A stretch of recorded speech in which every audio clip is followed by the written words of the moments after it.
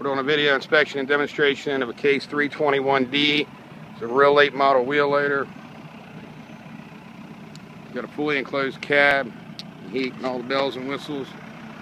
Take you inside there. It's got real nice rubber on it. Really nicely well appointed cabin.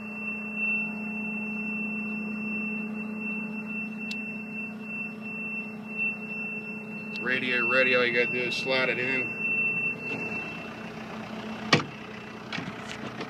Really cosmetically clean machine.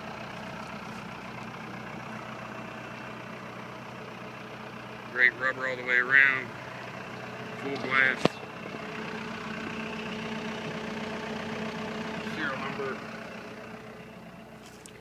And we're going to show you that everything works on it just great.